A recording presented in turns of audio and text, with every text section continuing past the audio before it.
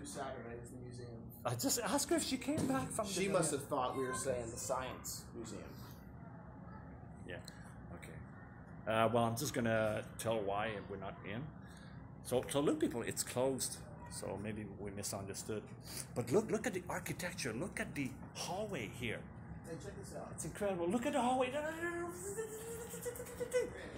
Check this. Look. Oh my God, people, look at this. Old black and white photo of uh, over 100 years ago.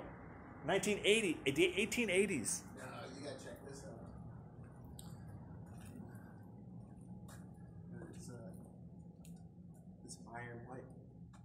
Uh, how the hell did they construct that? Let's switch this over I mean- and